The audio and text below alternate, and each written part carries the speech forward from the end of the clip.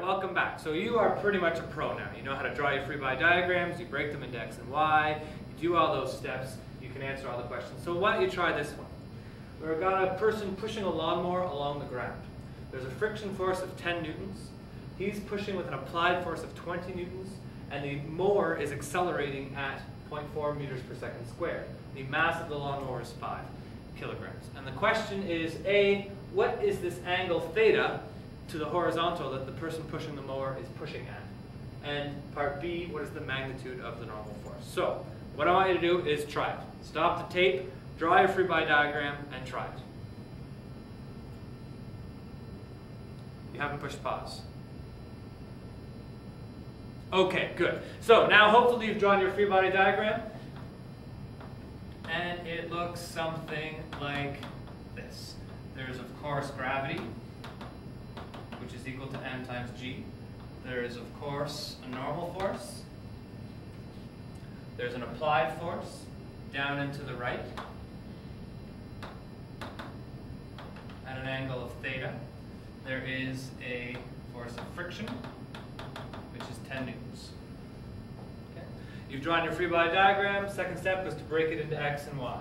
So we'll have x. Of course, before I do that, I need to actually define my x and y. The mower is going to accelerate in that direction. Okay. So I've got x and y defined. I'm going to draw fx. Will look like that. fy here. Fy. So hopefully your free body diagram looks something like that. Stop the tape again. What is Newton's second law going to say in the x and in the y directions?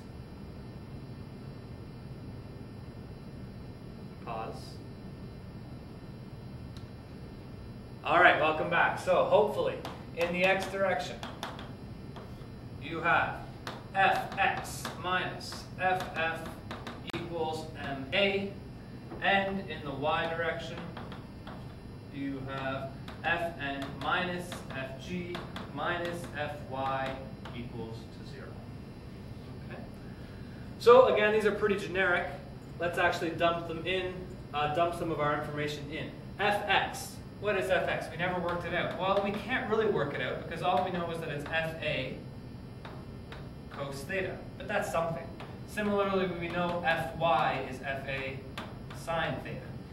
Okay?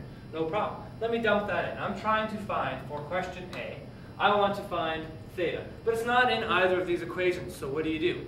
Hopefully you don't panic. You don't, you don't panic. You go ahead and let's put the expression for fx into our equation. So fa cos theta minus ff equals ma.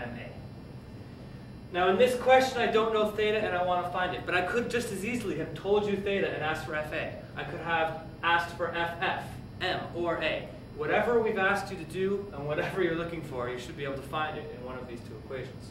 So in this case, to find theta, cos theta will equal ma plus the force of friction over fa.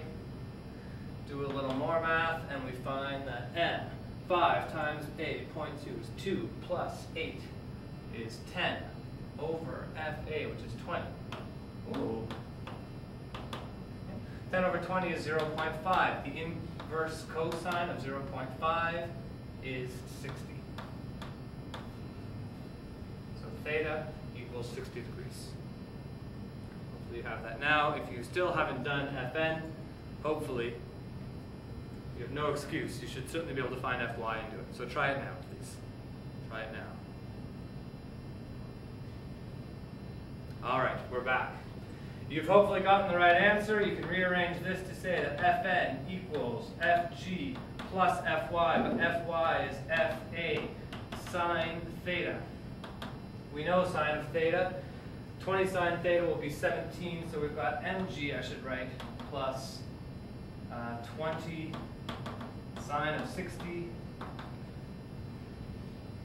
What's mg? mg is about 50. 20 sine 60 is 17. Therefore, the magnitude of the normal force is about 67 newtons. And you're good.